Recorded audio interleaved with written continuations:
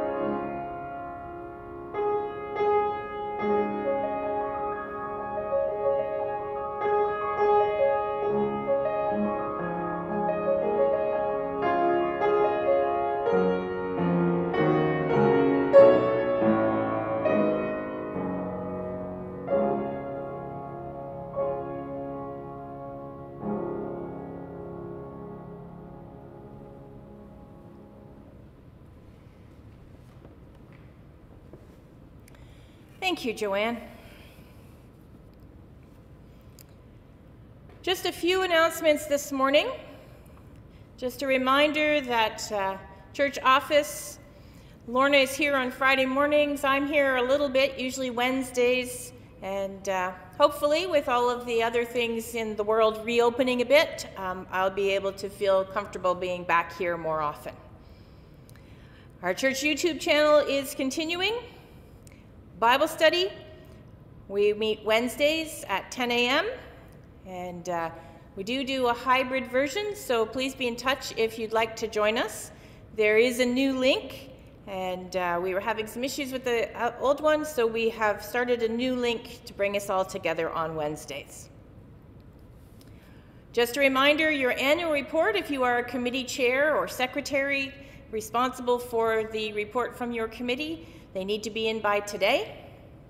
so that we can make sure that the report book is ready to go out before the meeting, which annual meeting will be on February the 6th, 1 o'clock by Zoom. And the link was in the bulletin, and the bulletin is posted on our website, so I invite you to go there if you are in need of the link. The minute for mission that was in our bulletin and is on the website as well uh, talked about some of the emergency response work that we do through the Mission and Service Fund. Broadview subscriptions are uh, due shortly, so if you're uh, interested in subscribing or need to continue your subscription, please contact Dorella. The church envelopes for 2022 are available, and uh, you can arrange to pick yours up through Lorna. And as always, we thank those who are able to continue to give and uh, continue to support our ministry in this place and beyond. Thank you for giving.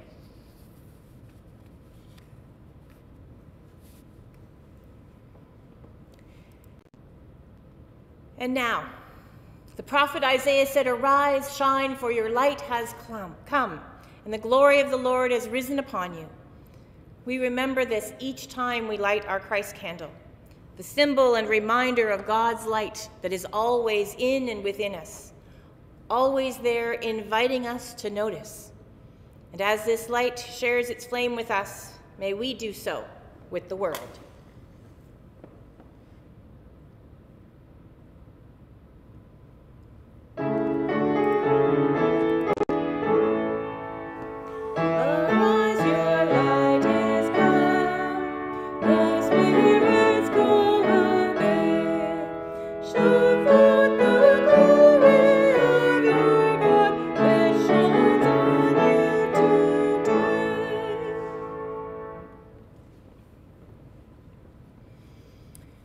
Join in our call to worship. We gather to worship God. We gather to hear the words of faith. We gather at God's call. The Spirit of God is within and around us. The Spirit draws us toward the heart of God. Let us pray together. When we gather in community, loving God, we strive to be aware of the joys and frustrations of those with us. We take note of the gifts and talents of our community and its members and encourage all to grow and use them. We will take the love of Christ into our hearts and then live it to those who most need it, today and every day. Amen. Our hymn of praise, In Christ there is no east or west.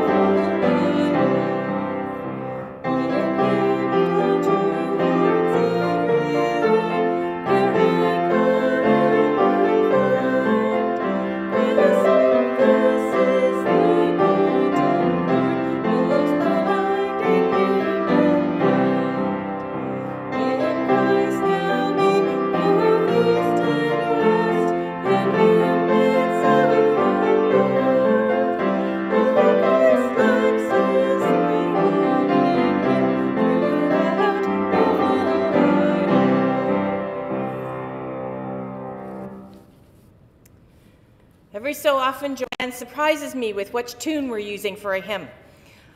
I didn't grow up using that tune for In Christ There Is No East or West.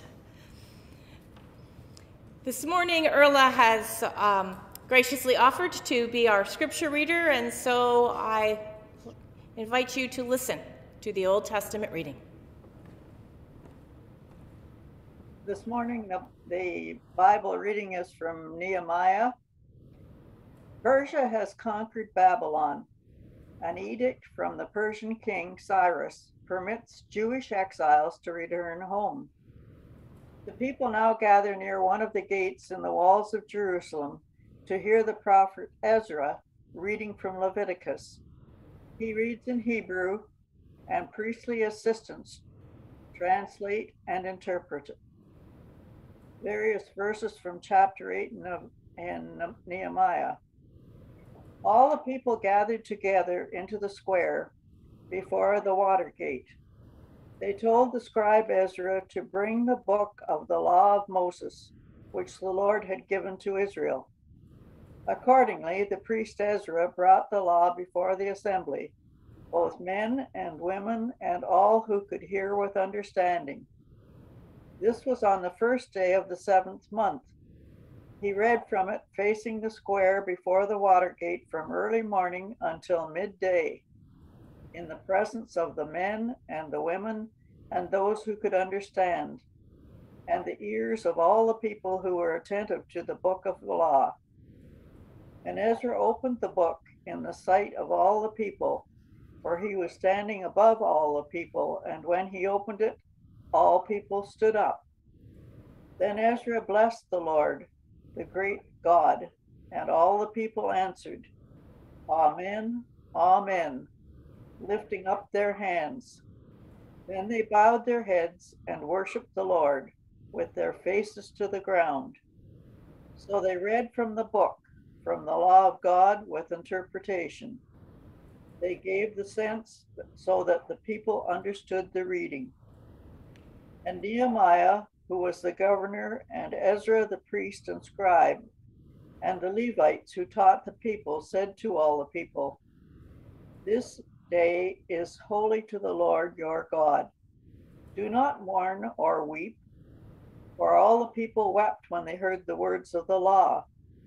Then he said to them, Go your way, eat the fat, and drink sweet wine, and send portions of them to those for whom nothing is prepared. For this day is holy to our Lord, and do not be grieved, for the joy of the Lord is your strength.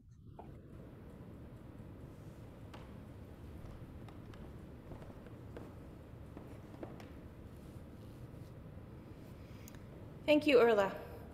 Our hymn before story time, All Things Bright and Beautiful, and we're going to sing the chorus after every verse.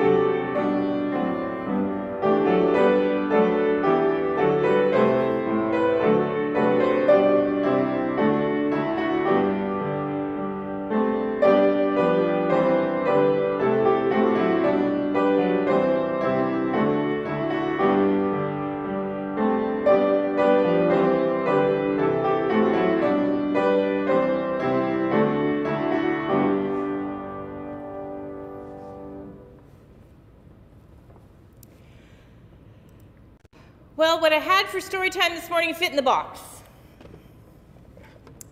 So I've got the story time box this morning. Just a couple of things in it.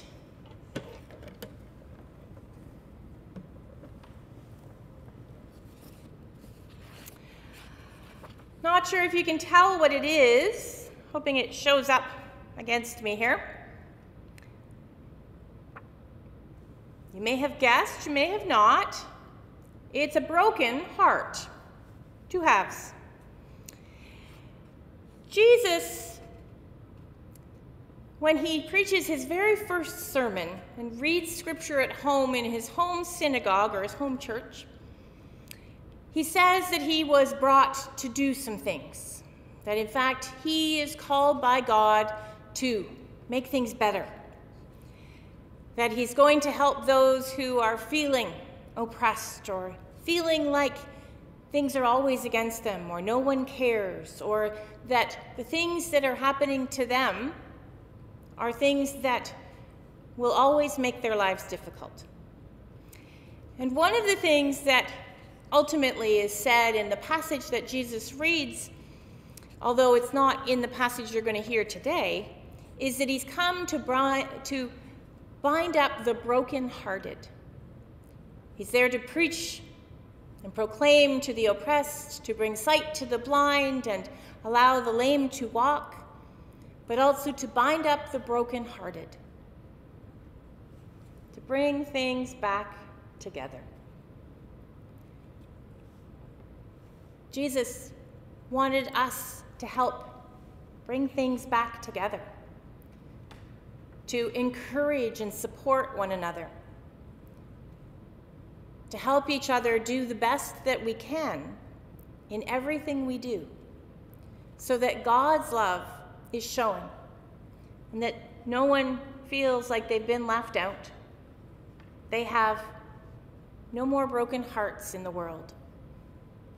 That's not always an easy thing for us to do. But it's the little things that can matter. Jesus did big things, and he was called to do big things. We're called to do little things, the things that we can each do every day.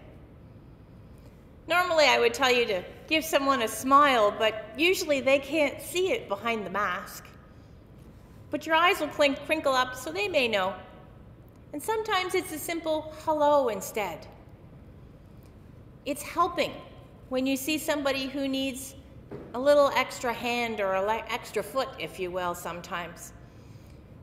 It's all those little things that we do to help around the house or to help around school or just to be a presence that is encouraging, that lets others know that things, as bad as they may be, will be better and that we try to help make each day a little bit better for one person so that we bind up the brokenhearted and together we move forward in love. That's what we're called to do when the Spirit of the Lord is upon us. Let us pray together. Our Father, who art in heaven, Hallowed be thy name. Thy kingdom come, thy will be done on earth as it is in heaven. Give us this day our daily bread, and forgive us our trespasses as we forgive those that trespass against us. And lead us not into temptation, but deliver us from evil. For thine is the kingdom, the power, and the glory, forever and ever. Amen. And this morning I've gone back into the archives of our videos, and Karen Nickel and Janet Ward are going to share as the deer pan.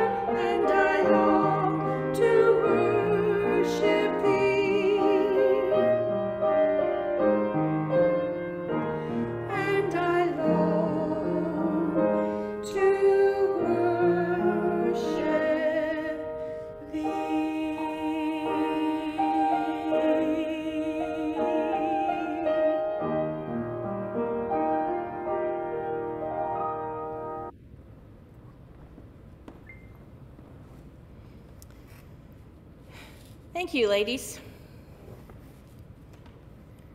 We, uh, we have some new music in the works, but uh, it takes some practice, and doing that safely can be a challenge sometime. And then we'll have to book some times to uh, get recording done again. Sometimes safely is the issue. So uh, stay tuned, there will be more. So let us share in our responsive psalm this morning. It is Psalm 19.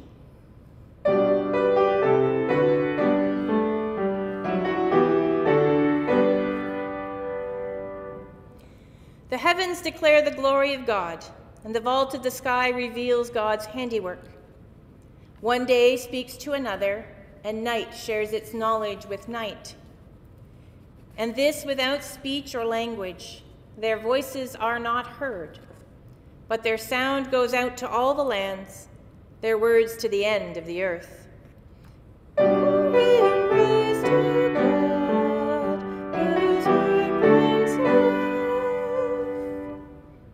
In the heavens, God has pitched a tent for the sun, which comes out like a bridegroom from under the canopy, like an athlete eager to run the race. Its rising is at one end of the sky, it runs its course to the other and there is nothing that is hidden from its heat.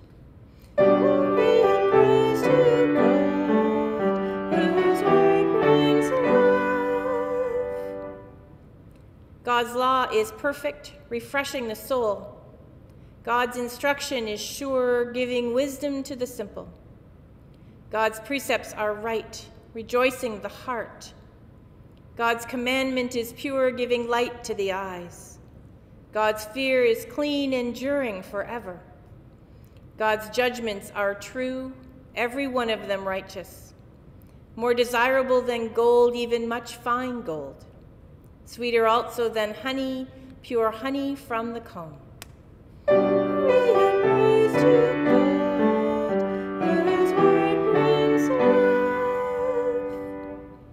By them is your servant warned, for in keeping them there is great reward. But who can discern unwitting sins? O cleanse me from my secret faults. Keep your servant also from presumptuous sins, lest they get the better of me. Then shall I be clean and innocent of great offense. Glory praise to God,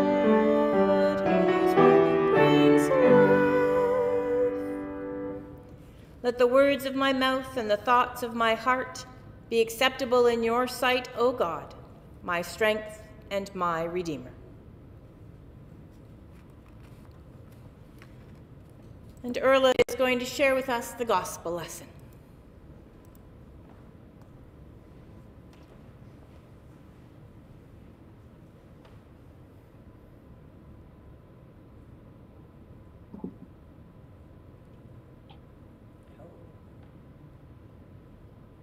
Jesus has been tempted by the devil in the wilderness to misuse his power for his personal benefit, for worldly domination, and for protection from God's plan, which we see as fulfilled on the cross.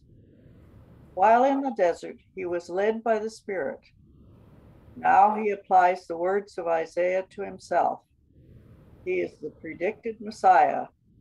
He will bring freedom to the oppressed. Then Jesus, filled with the power of the Spirit, returned to Galilee, and a report about him spread through the surrounding country. He began to teach in their synagogues and was praised by everyone. When he came to Nazareth, where he had been brought up, he went to the synagogue on the Sabbath day, as was his custom. He stood up to read, and the scroll of the prophet Isaiah was given to him. He unrolled the scroll and found the place where it was written The Spirit of the Lord is upon me, because he has anointed me to bring good news to the poor. He has sent me to proclaim release to the captives and recovery of sight to the blind, to let the oppressed go free to proclaim the year of the Lord's favor. And he rolled up the scroll, gave it back to the attendant, and sat down. The eyes of all in the synagogue were fixed on him. Then he began to say to them, Today this scripture has been fulfilled in your hearing.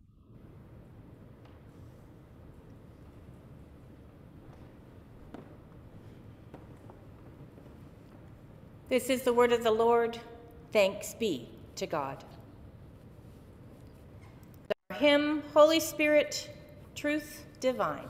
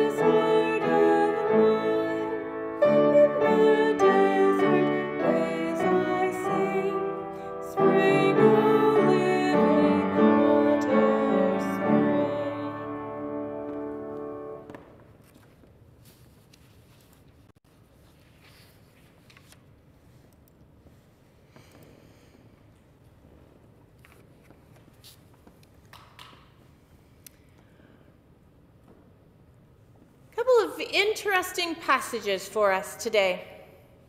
Makes us stop and think perhaps about how we do worship. Believe me, that's something that clergy have been thinking about for the last year, two years, as we've had to change how we do things sometimes. For those of us of a certain age, when we hear that we're going to be at the Watergate, we perhaps don't think about the walls of a city. We perhaps think about something else. This particular Watergate from Nehemiah was a good place, has a good story to tell. For it is those who have been exiled are coming home. They have found that home isn't what it was when they left. But they are also finding that in coming home, they're reconnecting with who they are and whose they are.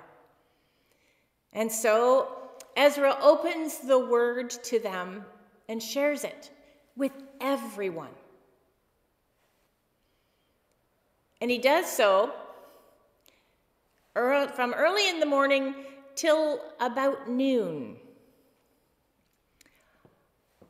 I don't think most of us want to be in church that long, but you never know.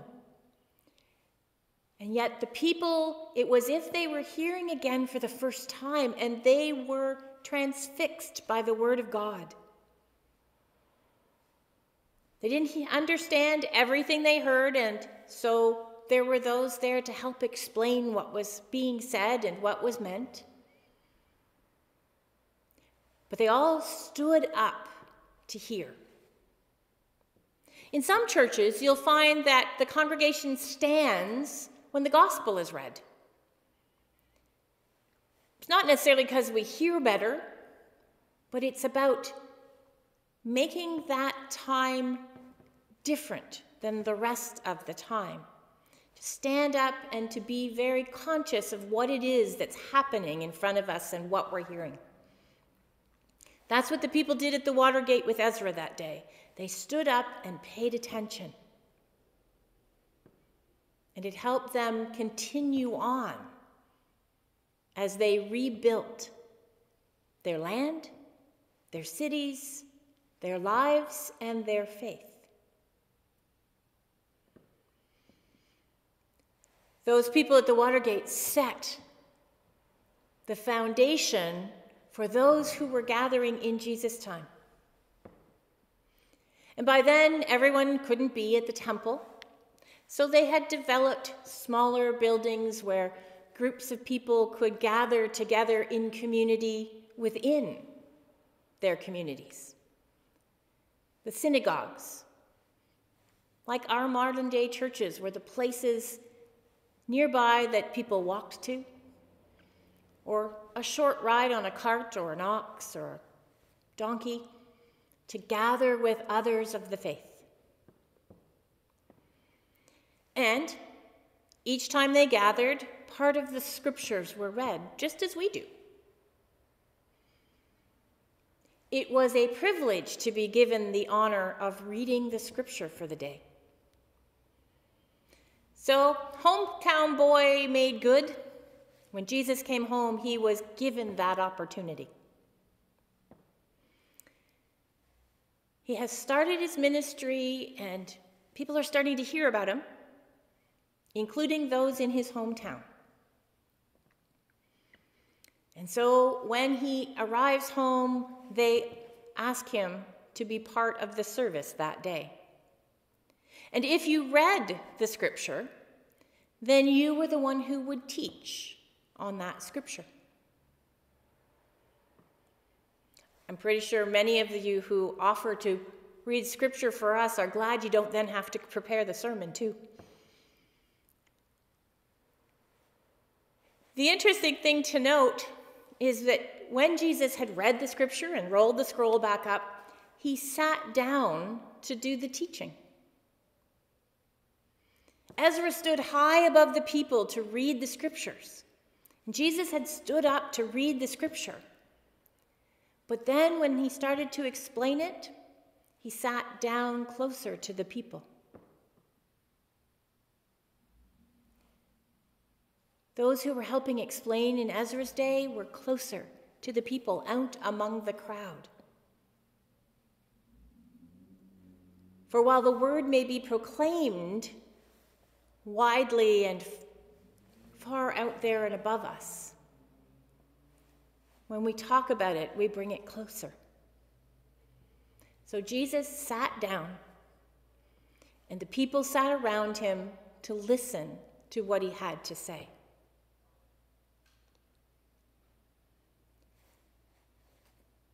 We only hear the first sentence, really, of what it is he had to say that day, and next week we'll hear the rest. But he started by saying, Today this scripture has been fulfilled in your hearing. He said, I'm the one we just heard about. I'm being called to do all these things, and the Spirit is within me and asking me to do it. That was a pretty amazing claim to make. Ezra shared the gospel, shared the Torah, not the gospel, the Torah, shared the law of Moses with the people, and those were, things were explained to the people. Jesus takes upon himself the actual scripture and says, This is talking about me, not just to me, but about me.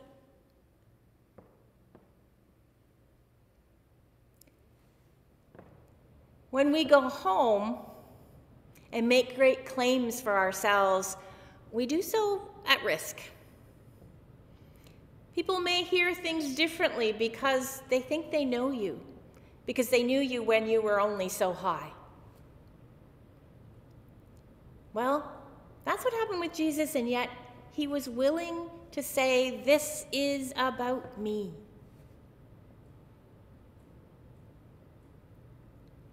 The first words we hear Jesus preach in Luke's gospel are these ones. He puts it in a very present tense. Today, this is happening. And when we read it, we hear that word and we know that today it is still happening. The Spirit is still at work in our world. The Spirit is still calling people to make the proclamations that were listed in Isaiah's scripture that day.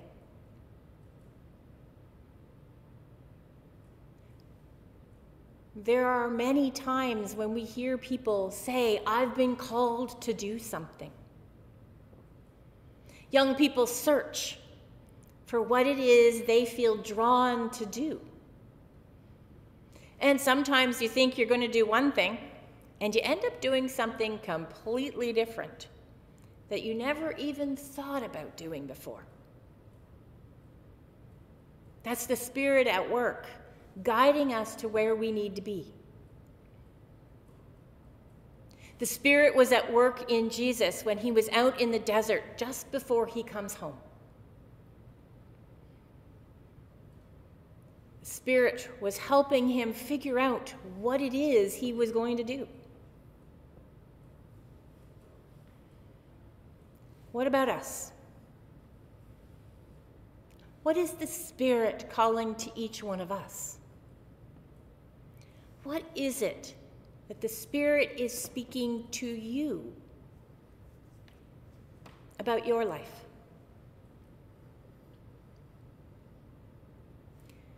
We've all struggled with how to live out what we feel called to do at times. In the last few years, even more so perhaps.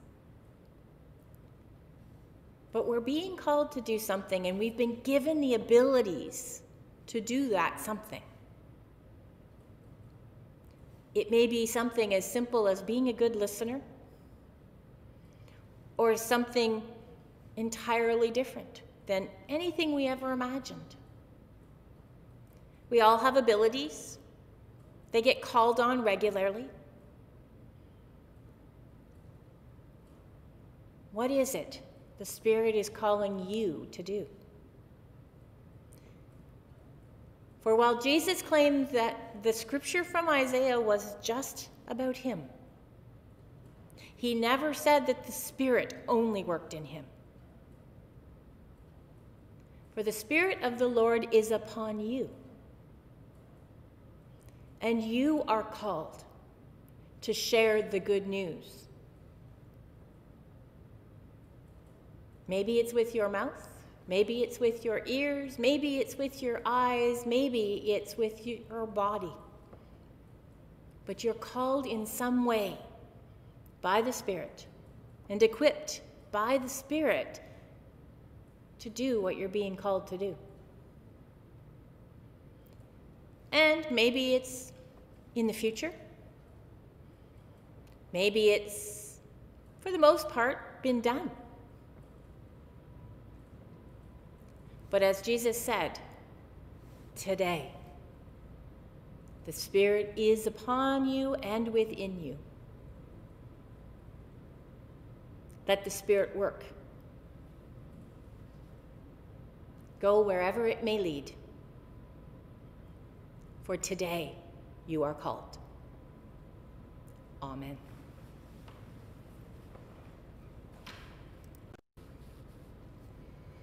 In the calling, we are asked to bring our gifts and offer them and ourselves to God. And we do so with love because we are loved. We do so with expectation because we continue to receive God's blessings. We do so that others might see, hear, and experience the deep and abiding blessing and love of God. So let us celebrate what we give.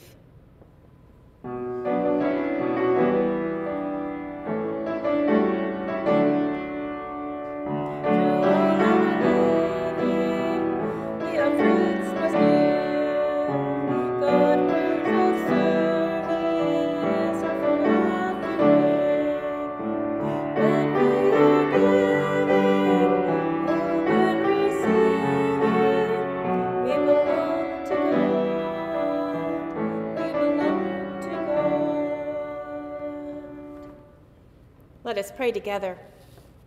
Gracious God, accept our gifts given in love and gratitude. You have lit the way that we may see the needs. Our gifts are a reflection of your light to reveal your love to the world. Amen.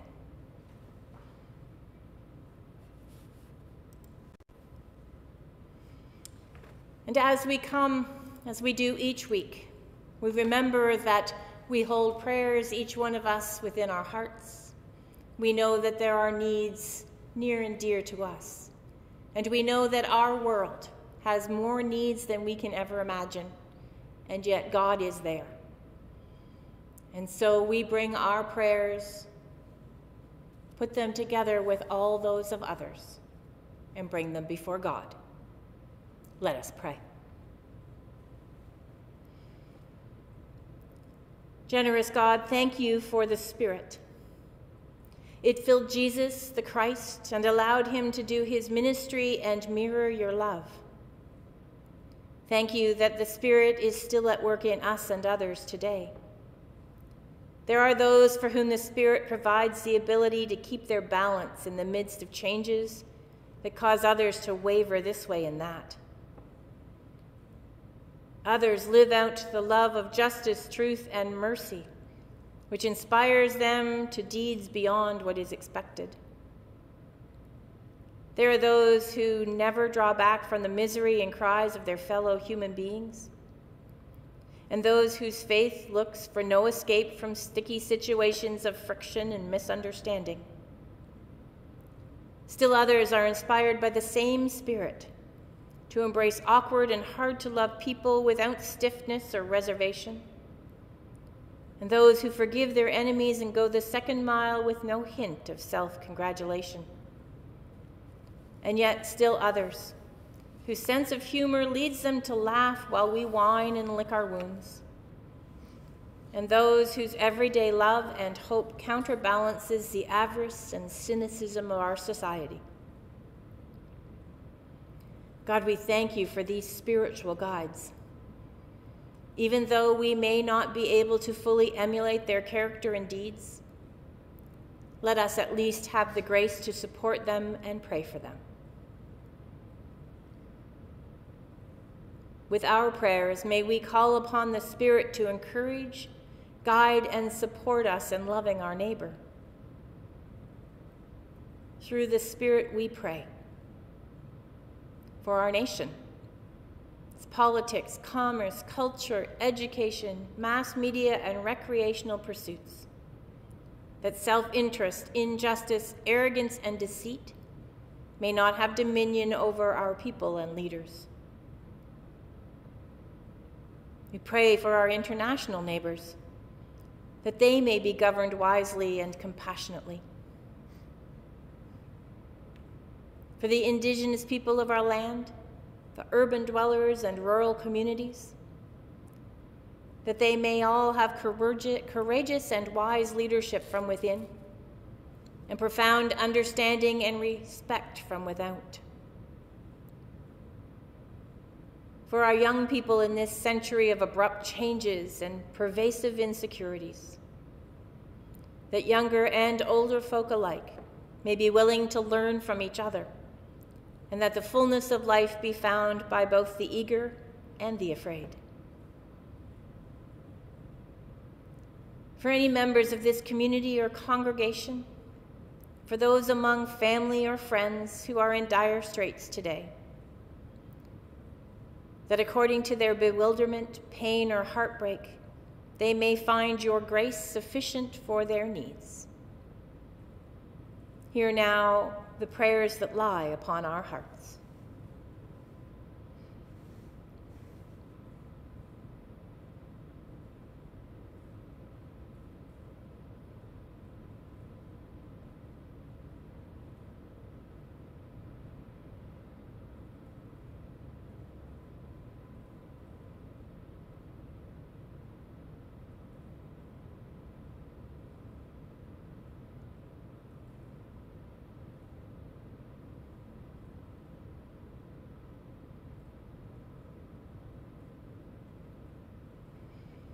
O God, through your Spirit, be with us, strengthen us, empower us to live your love today and always. Amen. At our closing hymn, Jesus shall reign.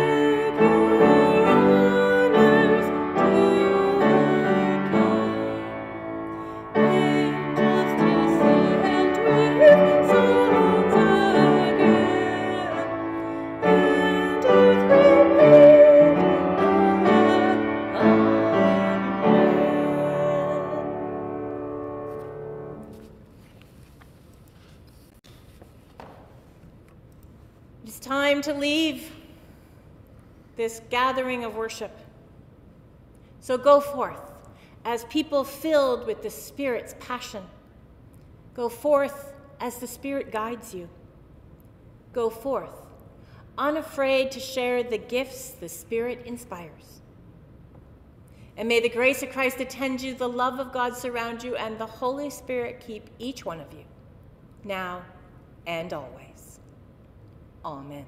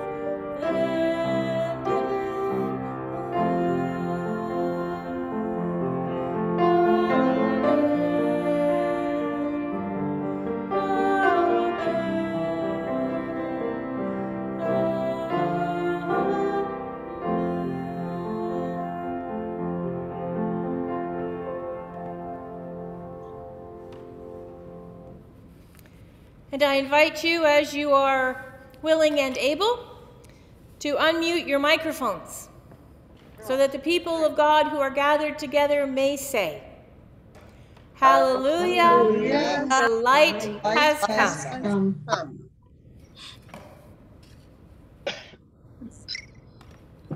Good. Thanks, Mary Jane.